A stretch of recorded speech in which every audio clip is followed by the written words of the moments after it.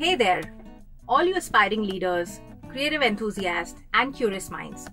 Welcome to Why Leadership Fails, a podcast where there is no typical gyan, no stereotypical tales of glory. Instead, we bring to you unscripted and unfiltered conversations about real life experiences of leaders navigating setbacks and challenges. I am your host, Bhavna Lalchandani, VP Digital Business at Hindustan Times. In today's episode, we will be delving into a sweet spot where leadership meets creativity within the captivating world of visual storytelling. What happens when the story is told not via words but through the lens of a camera? What happens at the intersection of leadership and artistry? Let's find out in today's episode.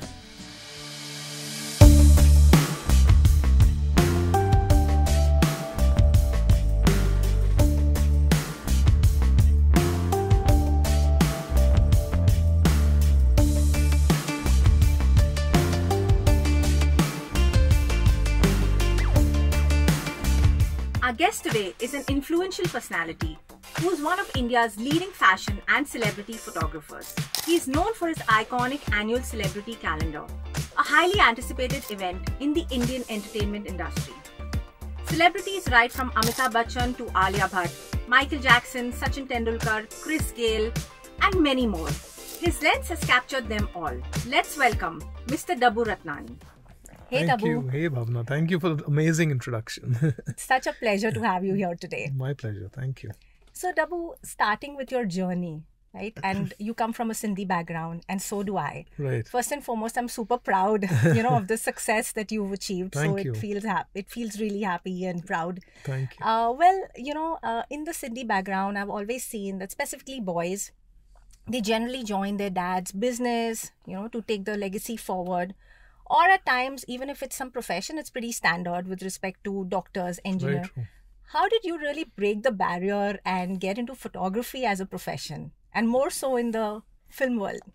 Uh, for this, I have my mom to thank actually because uh, really in the 80s and 90s, when uh, both my brother and me decided to take up professions which were not the usual run of the mill and the so called like the professions which are like respected you know my parents were quite open and uh, gave us that opportunity to do what we wanted to my brother became a chef and uh, I took to photography. So both of us didn't join the family business, and uh, we truly did, you know, what we enjoyed most and what our heart wanted to do, basically. And uh, without the support of my parents, that would have been impossible. You know, like my grandparents, my chachas, and the whole family were all lawyers, and my dad was the first businessman to move out from the lawyers. So he Oh, was wow. also like a uh, changing the path for his family, and then all of us uh, took took it forward. And Vicky became a chef. He Yeah. jo- joined joined hotel management, and uh, uh, you know went on the cruise ships for many years. And I was working with my dad, and uh, I was not enjoying it. It was like a very boring thing to go to. We had a Bombay dyeing uh, retail store, so like Oh. go open the store, sell cloth, cut cloth, and sell bed sheets and all. It was not really inspiring and not job job satisfying for me. So and so in the twelfth grade, uh, uh, 11th and 12th, I started doing a bit of photography more as a hobby and uh, did some projects for college, like intercollegiate fashion shows and stuff like that. And uh, that's when I really got interested. And uh, my friends encouraged me in in college that you know pictures itne achhe aa rahe hain, uh, you should think about this. And they were just telling me as a matter of like a conversation, but I really took it really seriously. And in my twelfth grade, I went and met Sumit Chopra, who was a photographer, uh, my friend and photographer, and I, he had done his uh, course from Brooks Institute in Santa Barbara, and he was a advertising photographer in fashion and advertising photographer. I went and spoke to him. I said, you know, I'm really getting interested in this, and I'm thinking that I want to do this, but so, I- but I obviously we were from a middle class family. It's a choice of going abroad and studying was not an option you know i mean i never traveled abroad even then so so he said uh, you know you come after your 12th grade if you want you start working with me. And uh, uh, three years I trained in Brooks. You trained with me for three years. I'll teach you more than I learned there, because you know he he said that, uh, uh, you know, I mean, in in those days, out of the three years, one year was actually what he did was like history of photography, printing, processing, things we don't get time to do as well. Right. So you think then if you work with me for those three years, you will first of all learn the whole business of photography. What you don't learn in America or in London or any photography school will only teach you the techniques. Theoretical. Yeah, and here you'll meet people, here you'll do production, you'll learn on the job, you know, which I felt was my best option. So I went back to my parents and I told them this is what I want to do. So they said, okay, let's think about it, you know. And I gave my 12th exams and I said, I'm supposed to join Sumit tomorrow morning. I need to know. so he said, I said, you fixed up already? I said, yeah, because I told him for my 12th exams ke baad I'll come. And tomorrow morning I want to start. So my mom said, okay, you go. Wow. You start, lovely. you know, and we'll see. I said, three years I need anyway. I've got three years of commerce, BCom left. Instead of hanging in the canteen, I'll go and work with Sumit and I'll do correspondence, my, my education through correspondence. And uh, I somehow convinced them. And they were really, really supportive. And uh, my first day, I remember my the call time for the shoot was at six in the morning, and I was staying in Bandra, and Sumit Studio was in Colaba. So take a bus, then a train, and then a bus again. So I had to leave two hours prior. So I left the house at four, woke up at three, and he was amazed to see me. He thought that I'll never make it, you know, and I was one of the first people to reach the studio on that day. So yeah, it really paid off, and those. Uh, instead of three years, I stayed with him for four years, and uh, and truly, I learned a lot about life. Literally, I went as a boy and came back as a man. Wow. I think that's truly a story which is very inspiring because I think it's a story of passion right. and perseverance, and that's how your parents probably trusted you because you showed that kind of passion. So I think So that's very yeah, I mean that way my parents were really really supportive, and you know, and uh, lots of my friends tried to used to come home and stuff. Used to wanted to discourage my parents. Is what's wrong with him? You know, he's left college and he's going to be uh, doing correspondence, not attending college. At least he should finish his TY BCom and then think about this and also. And they kept telling him, you know, that there's a lot of drugs in the industry. There's so much this in fashion industry, drinking, this, that. oh yeah. So my mom told my friend, I was zapped, that you know if he has to do drugs, he doesn't need to go to a fashion photographer to do drugs. He can do it even in college. I Correct. mean, it's not that because he's going there. It's that's up to him. I mean, and how he takes it forward. Right. So that trust my mom had in me till date, I've never even taken a puff of a cigarette. You know, till Wow. date. You know, so That's awesome. so yeah. So I think my mom had that uh, faith and trust in me. Super. So, you know, talking about the entertainment industry, how did you get into that? So while I was uh, working with Sumit uh, uh, for those th- uh, four years, in between, uh, obviously I met a lot of people and uh, in the industry, in terms of the fashion industry. But my brother's friend was Sanjay Gupta, and uh, they were in like college together. And Sanjay Gupta was making his first film. This was in 1993. It was a film called Aatish with Sanjay Dutt, Raveena, Karisma, Yes. Atul, big star cast, and uh, GP Sippy was producing the movie, and uh, Gups, uh, Sanjay Gupta was going to Mauritius for a 40-day schedule, and uh, he was shooting climax and songs in Mauritius. And I told uh, Gups, you all are going to Mauritius. Why don't you speak to the producer? I'll come uh, for free. I mean, I just for me it'll be more an experience of those 40 days. Sure. I've never traveled abroad, and and uh, you know, for me, I learn a lot while I'm on the job, you know, and see a full fledged shooting, and I've never done that. So, so you saying I can line up a meeting with you and Vijay Sippy, who's the producer, and you go and speak to him, and you know, I'll put in my word, but finally, it's his call. So I said, sure. So I went to Vijay Sippy's house and I said, sir, you know, I'll come in, I'll shoot your whole campaign, I'll shoot like the whole publicity of the film, I'll shoot the continuity, whatever you need me. Only I need you to cover the cost of film because we used to shoot rolls, Yeah. not digital that time, and the cost of film processing, travel and Yeah. stuff like that, and and just you know, I'll come with zero assignment fee. So he said, yeah, but you're so young.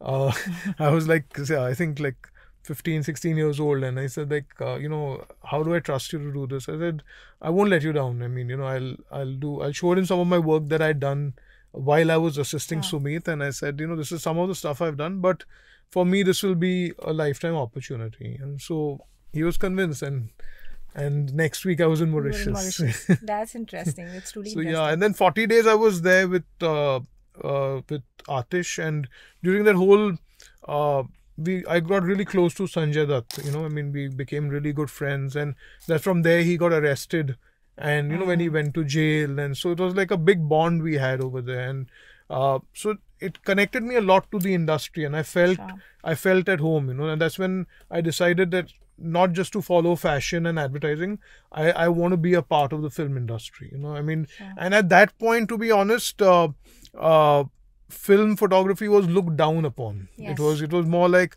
the supermodels, the fashion. That whole scene was very different in the eighties, where you know it was called filmy, like you know, not in a good way, you know. Hmm. So uh, and so I, I didn't care about it. I said for me, whether I'm shooting an actor, whether I'm shooting a model, my goal is to make them look amazing, you know, and make them feel good, do some amazing shots with them.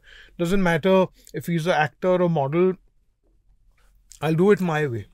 And uh, it was my vision that has kind of, you know, made me made those pictures which I shot of Atish when they came out on the billboards, they came out in Stardust and all the magazines.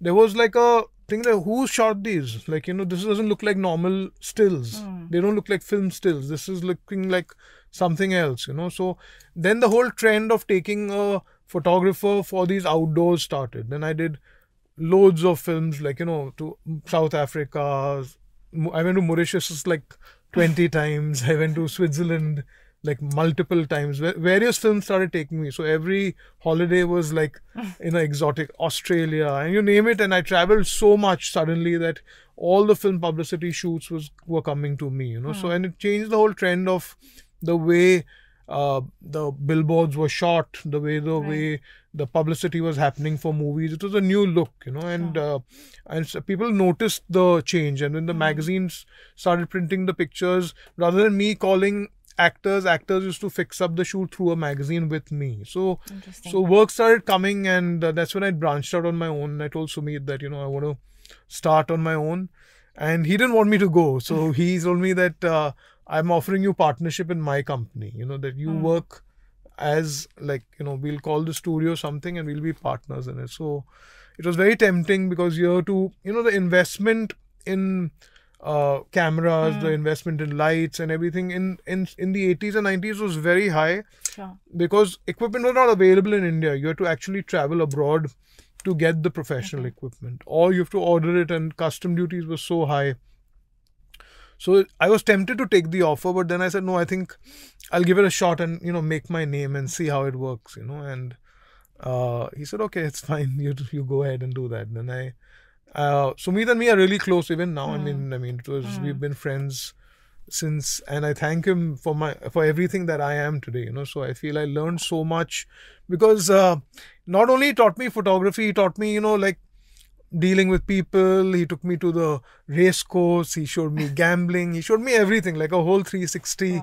I started partying with him. I mean, uh, I used to literally go home to sleep for three, four hours, have a bath, and come back to Sumit's. You know, so it was an amazing four years with him. Sure. What an inspiring journey. and I must say, I think, you know, through this entire conversation, I got so overwhelmed and I all I could see is focus, you know, passion and even gratitude for that matter. You have to be. I mean, I think that uh, gratitude you should learn from Sanjay Dutt. You know, I mean, the way he is, the way I've seen him. You know, since uh, he was my first person I shot with, and uh, and uh, to see him, to see him with the staff, to see him with uh, the spot boys on the set. I mean, the guy is amazing. You know, so I feel every shoot you learn something. You bring back something. You know, you uh, with every person I met, with every uh, outdoor I went to, seeing actors, I, I used to be quiet and just notice them and you know do my hmm. own thing, and then finally my results would speak basically. Sure.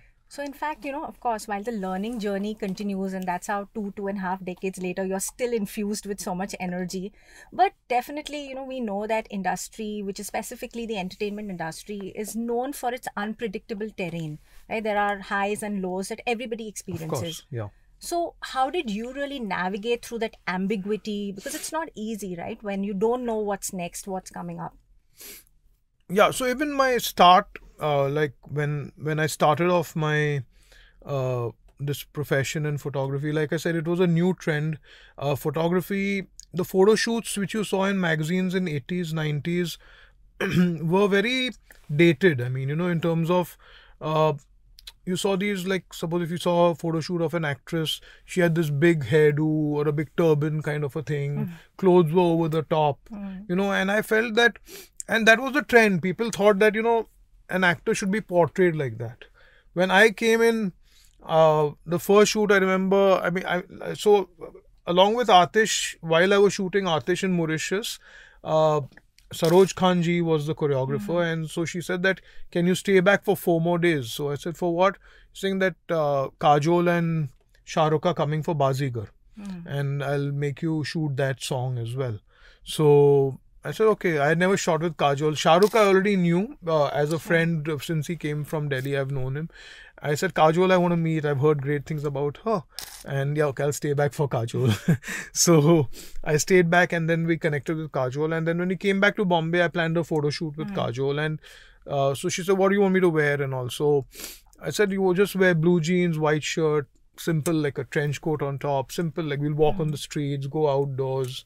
So that kind of shoots people are not seen in magazines Right. you know so a lot of people appreciated it because they could see the real persona of the actor rather than that whole over decked up things. But i got a lot of flack as well because uh, it was disrupt disruptive in terms of photographers didn't know what had hit them in terms of what is coming in these magazines. Now why, why are they printing all this? Why it's so basic looks you know like Yeah. blue jeans white t-shirt. I mean they just look like an ordinary person. I said i mean they don't have to you know always be ott you have to sometimes do something basic you have to do some different kind of photography rather than make them look same and each actor is doing the same thing same kind of makeup same kind of hair uh, and in the studio with these heavy duty lighting you know i said let us just be natural let the persona. I used to go to actors homes and shoot them in natural light window light uh literally wearing a ganji as like he's woken up from his sleep and come and shot the picture you know like that kind of stuff. So Sure. uh, people were loving that kind of you know personality to come through of the actor. And uh, so a lot of magazine editors also were getting hassled that you know that what is this outdoor? What is this trend? What is it's not going to last. And one magazine editor actually called me to her office and she really gave me a lot of uh, stress you know and told me that you're not going to last. I give you maximum one year Oh you know God. and uh, uh, this is not going to this is not going to work you know what Hmm. we have set up for so many years you come and just do all these things don't think this is going to how long will you get away with doing this uh, this kind of photography taking them outdoor going to their homes so I said it's okay. I'll see as long as it, if it doesn't work, then I'll come back to the studio shoots. I mean, but Hmm. I want to do something different rather than doing the same what rather than replicating what has already been happening. So one year later, she calls me back and says that we are coming out with an annual issue of the magazine. Can you shoot the full magazine for me? so I say, yeah, sure. So I went and met her again, and then, I mean, it was obviously by then it was accepted that okay, this is here to stay, Sure. and people want to try new things rather than doing the same kind of stuff every day. So it was a challenge in the beginning, mm-hmm. and obviously the investments in terms of equipment, in terms of film processing, bad debts. I mean, in the industry, in all industries, I feel there's equal amount of good and bad people. So a lot of times I went for shoots, didn't get paid, and then I had to pay the lab for processing and the rolls and everything. So there's a lot to learn, but uh, still I'm very thankful. You know, I made it. Uh, it's been over 25 years I've been doing this, so I'm and I'm still as excited like my first day. You know, that. yeah, I'm still uh, still want to try new things. I feel there's uh, there's in this creative space you can keep learning. You know, there's nothing Yeah. like you ever achieved or you're a number one or anything. It's never like that. It's always uh, scope to learn. Always open to try new things. Yeah. Yeah, but what I hear from you, you know, is that you did face these kind of setbacks course, and you know somebody telling you that you're going to last just one year Yeah. i think what's really important is to keep going you know you just kept at it you believed in what you're doing and irrespective of whatever anybody said Right. so that's really interesting but however you know when we talk about the entertainment industry Hmm. and you did speak about how you learn to deal with people so in the entertainment overall any industry for that matter specifically in this industry where you're you know dealing with celebrities creative minds of course it's exhilarating but pretty challenging as well. Everybody comes with their own moods mindset preferences and you really need a unique dynamic you know to deal with all of them. Hmm. so how do you really manage how do you foster collaboration you know within your team and as well as the celebrities that you photograph to get the best out of them? Uh, so I'll be honest in terms of I like it when a person brings in their own thought to it because it's not uh, they're not just doing it half-heartedly.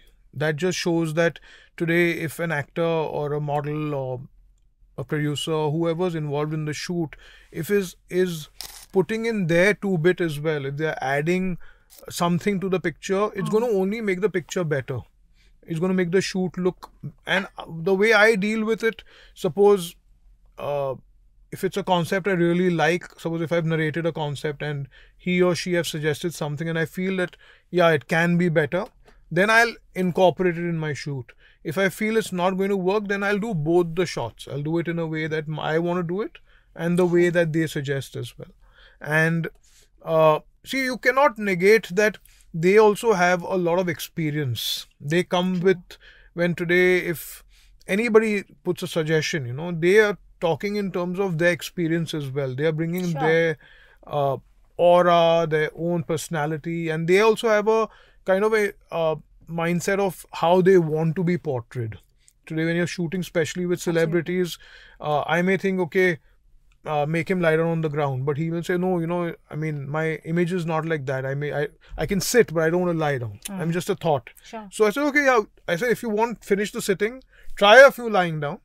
If it doesn't work we won't use the picture. Finally it's between us you know. And and that's one thing i've really maintained uh, is trust. You know no one in these 25 plus years can point a finger and say you know you might you you didn't do this for me or i told you something and you did the wrong thing or you nobody can point a finger at me for that basically. I've trust is the first thing above money above anything else that i've maintained my relation in these years. And i think that's one thing also that has kept me going uh, because uh, I'll tell you, like there were many shoots where we do, and in the days of film where we didn't, you know, digital now you can see what you're shooting. In the film days, they just have to trust the photographer who's behind the lens. I mean, you know, they have to. So sometimes they're doing really sexy pictures, you know, and uh, and out of that, when the results come, and an actress has turned back and told me, you know, these two outfits, I think we should not use. So I said, okay, why? She said, no, it's it's. I think it's too sexy, much more than I imagined. So I said, okay. And that was the day, and nobody else has seen those pictures. Oh It's gone into my archives where, you know, it was never released, never, there was a ban in the industry where the actors had stopped giving interviews and posing for magazines for a few few years. Magazines were ready to pay double, triple, four times for pictures which Yeah. were unused because magazines still needed to come out that's a treasure. you know and uh, i said no there's certain pictures i cannot give you know you know because that's a trust that i have kind of maintained I've, um, that that is much more important than making a few lakhs at that point Sure, and in fact, that's a very important leadership trait, right? Credibility and trust. Absolutely, So, absolutely. irrespective of any industry, I think that is something which. so even if you're going through a low even if you're going through uh, issues with finance or whatever you cannot break the trust you know because the minute that goes now i mean your life is over in True. this industry Very true. In fact, you know, we've spoken about your craft, we've spoken about, you know, the creativity of it, blending it into the practicalities of a successful business, you know, which you're doing it so well. How do you manage that aspect of it, apart from the Sindhi genes? So, uh, to be honest, I mean, uh, uh, Sindhi genes definitely have played a big thing because I have sure. come from a uh, finance background in terms of business and stuff. But like I said, for me, the creative is more important than that. And uh, uh, so, since I got married, Manisha handles most of the whole production and finance and admin and everything. so Oh, I can just focus more on the creative part. And but she's also manisha and me share the same birthday. We are 24 december. Interesting. so we are like almost similar kind of people. So so she also has that thing about more you know more about the relation to with people more about creativity than the money you know. So i mean it's hmm. always been that okay, we'll get paid, but let's at least get a great shot first, you know. So, uh, so she handles most of the uh, admin and business and the finance and uh, dealing with people Okay. and production and everything. And so I can do more of the shooting and the focus on concepts and creativity and stuff like that. So it's an equal balance. And when you have Mm. your family running your business, I feel that's the best thing, you know. And True. that's also one challenge when we go getting married and uh, she one day walked into my studio and she had not she was working with the times of india and she uh, was in jaipur and she moved to bombay and uh, she came to my studio for a day and she opened my mac my laptop and she saw some 4000 emails unanswered you know because i was one man show at that point before Yeah. marriage i was Sure. doing admin, doing photography, doing billing, doing everything myself, you know, and with my small team at that point. And so she and so she said, Oh, can I answer these emails? I said, Yeah, please. At the end of the day, there were only 200 emails which are not Wow. answered. So I said, Wow, you're quitting your job, you know. so so she said, Yeah, but you know, like a lot of people had discouraged us uh, to work together, you know, because they said that, you know, uh, a couple working together, The you know, dynamics. dynamics, and plus also it'll affect your relation, and you know, it's like. Sure. But I think for me, it worked completely in a different way. It worked for for my advantage, and if you have someone who you can trust with your complete finances, you're not there's no secrets. You know, you know exactly what's happening in the business, so she can easily follow up and do the rest of the things very easily. Right. So I feel that having her in the business has really helped me and the best thing that's happened to me. Amazing. In fact, you know, when you spoke about 4,000 emails which went unanswered, Right. you know, the thing that comes to mind or the question that's on mind is that how do you leverage technology today with the advent of technology, social media, etc.? How do you really manage to do that? Who's the most innovative amongst the two of you?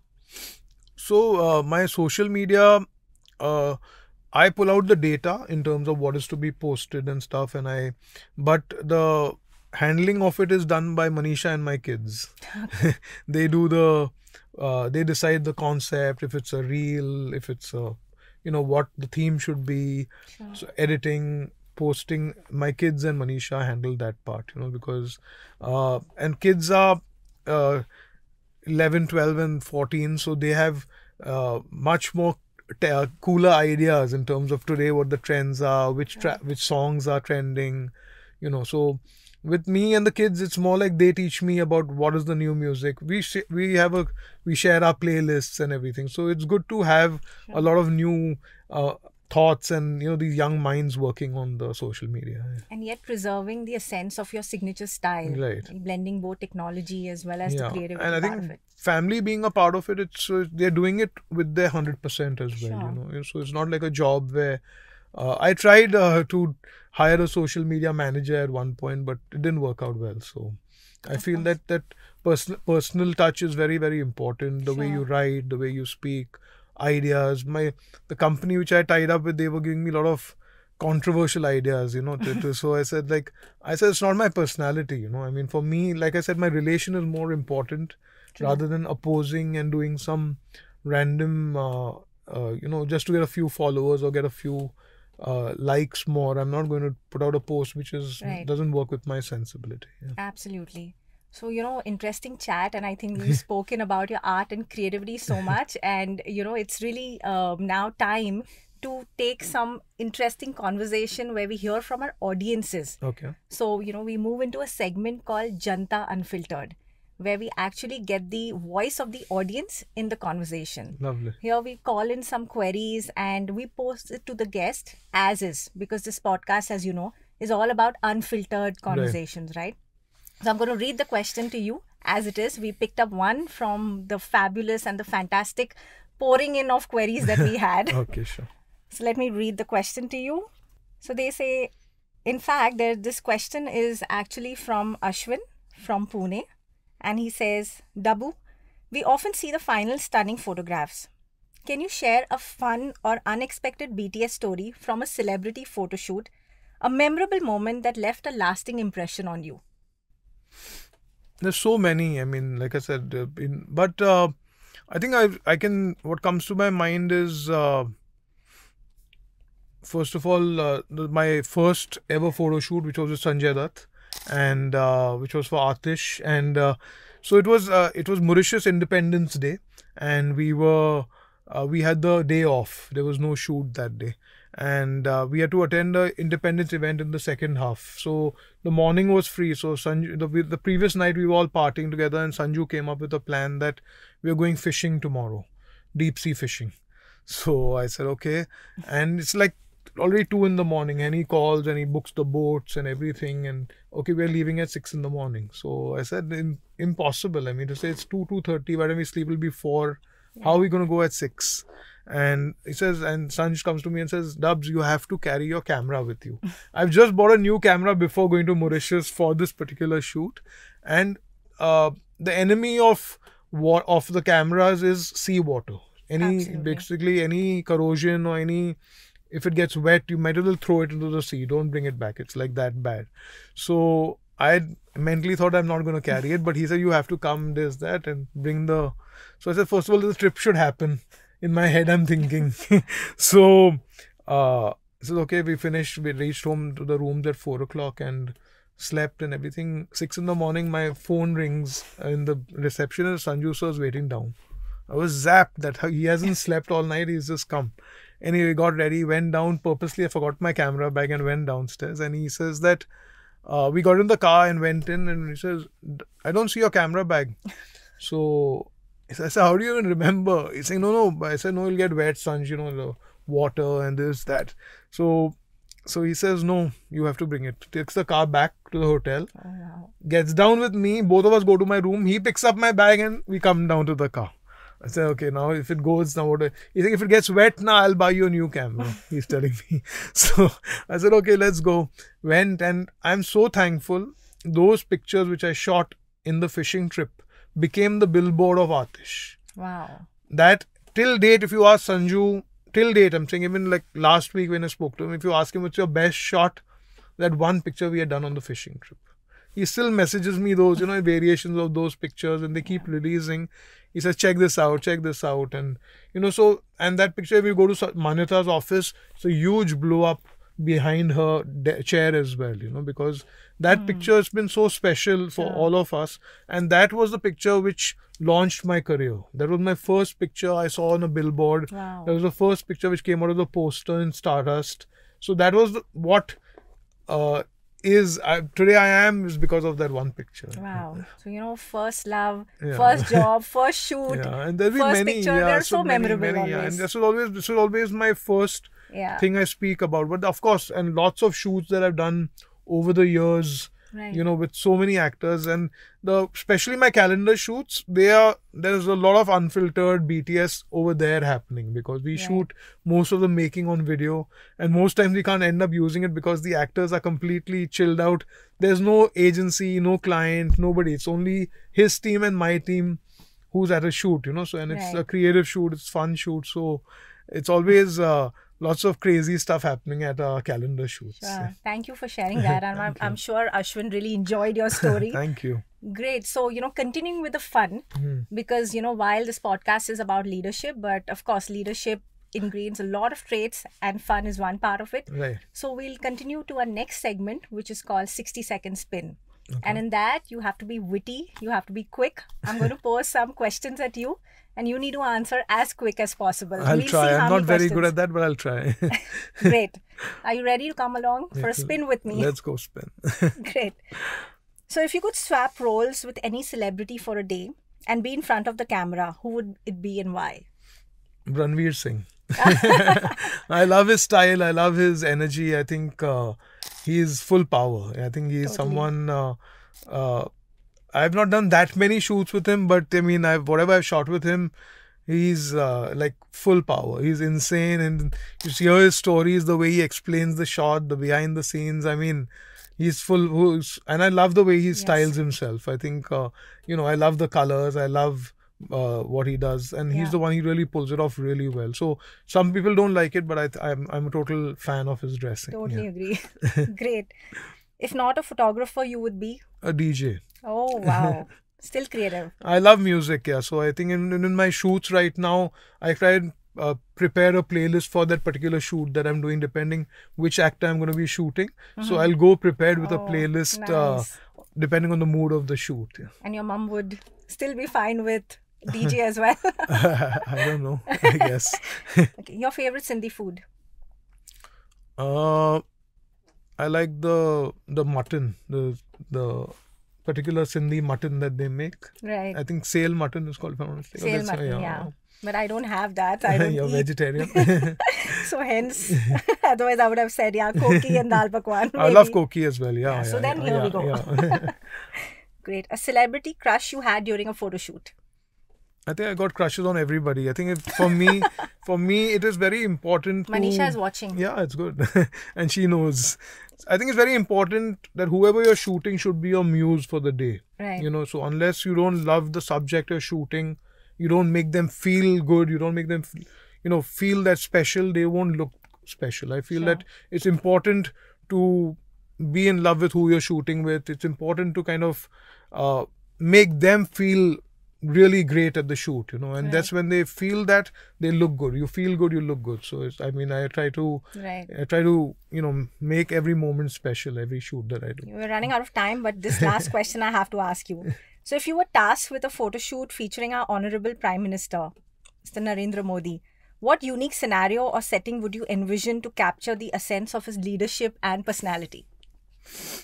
Very interesting. I really want to shoot with him uh, because I've never, I mean, I I think he's he makes great pictures. You're manifesting it Yeah, out here. I want to do it. I want to definitely shoot. And uh, with him, I'd like to do something uh,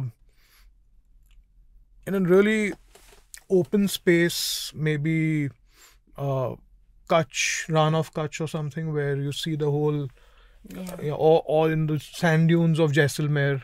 The entire landscape. and landscape with him and the power and Interesting. uh, with some interesting maybe some props like camels and stuff like that make it look very uh, picturesque and Yes. still show the power Interesting. And I hope that can happen i someday. hope so Great. So, that's the end of Thank 60 you. seconds, and Thank you, did well. i did well i'm not really good Kind at of. rapid fires Thank you. Thanks so much, Dabboo. So now with this, we move to our last segment, which is called Expert Edge, wherein I would like you to share a quick thought on why leadership fails and one mantra for being an effective leader. I would speak in terms of my profession. Uh, so why it would fail is that if you get into photography for the wrong reason, you know. So during my uh, journey of photography, I met many people who says I want to be a Dabboo Ratnani, but you know I feel really uh, touched and honored when they say that. But you know the reason sometimes they come up with is because they want to meet celebrities because they want to they think that our life is always around pretty girls which is a very wrong reason and you will Yeah. not not um, uh, become a successful photographer if you get into any profession for the wrong reasons basically. So i feel that uh, until you don't have the passion until you don't have the fire you have to like for me i i'm breathing photography. Yeah. i'm breathing creativity. I'm always thinking when i go out to for a holiday or to a hotel or to a restaurant my first thought is looking at the place for can i plan a shoot here? I mean it's in my it's in my head it's in my bloodstream. I can't control that Right. so only when you're so obsessed with any profession is when you can give it your 100% True. only then you can really sustain for so many years. In these 25 plus years i've seen uh, many photographers who come make a huge noise and fizzle out in a year or two. I mean with due respect but that's because they got into it for the wrong reason. They that if they get that popularity they it hits their head so badly that they can't handle the success. Yes. you know and then they start uh, putting down other people and they i mean you should have respect for all your colleagues all the people in the industry. You know you don't think that today if you're getting work and you're successful you can't run down the rest of the people you know. So Absolutely. so in those one two years they come and they go they come and they go. I mean i've seen it. Only few people have sustained so long you know i feel so it's very important to have respect to have uh, the fire to kind of sustain that and to kind of keep excited keep yourself excited about uh, for me i think my calendar is something which has kept me really going in terms of because every year i'm doing a, a job which is non-commercial i'm doing it purely uh, for creativity. I'm doing it purely to outdo what I have done before. My Hmm. competition is with my previous calendars. Yeah. You know, I've shot six, seven hundred concepts with various actors. So every calendar, I'm thinking, okay, what new? What new? What have I not done in these 25 years or these 23, 2050, 23 oh, years? wow. 23 years. So 23 years. What have I not done in calendar that I have to do new now? because I don't want to repeat any concept with any other actor which I've done before. So if I if I did a concept in like say 2000s or in the 90s which I feel I want to redo, I might go back to my old concept and redo it with a new actor now, thinking I could have done that better. There are many times in, in in my profession where now when you look back say at my 2017 calendar or 16 calendar and I'll say oh you know, this could have been better this concept could have been it's a way of evolving. I feel you when you look at your own work and you say okay this could have been better. That means i've come ahead of that. I mean i'm thinking that okay you know and many times when i post a picture on social media i get uh, people giving me ideas saying Arey, you should have put added the glasses in this or you should have made her do this or you could have tried this hairstyle. Sometimes it's great. Sometimes i mean they just want attention but sometimes you get some really interesting uh, suggestions you know. So i i pretty much read all my dms and my Oh. all my messages that i get on the picture as well to see what the reaction of the picture has been so i think it's it's all about learning it's all about Right. you know keep uh, pushing it and keep getting better and better so i mean with any profession i feel that you've never learned enough Sure, absolutely. And which is why after 23 years, you know, every single year the annual celebrity calendar is still unique. yeah so, so- keep trying That's great and truly inspiring. In fact, I Thank really uh, admire the way you, you know, convert all the moments into such amazing masterpieces. Thank and I think this conversation has been really inspiring. Thank you so much for sharing your wisdom, you know, your passion, focus, all of that. I'm sure it's uh, all the aspiring photographers, all the aspiring leaders out there would really gain from this conversation. Thank you. So thanks so much, thank you Dabboo. Baba. thank you so much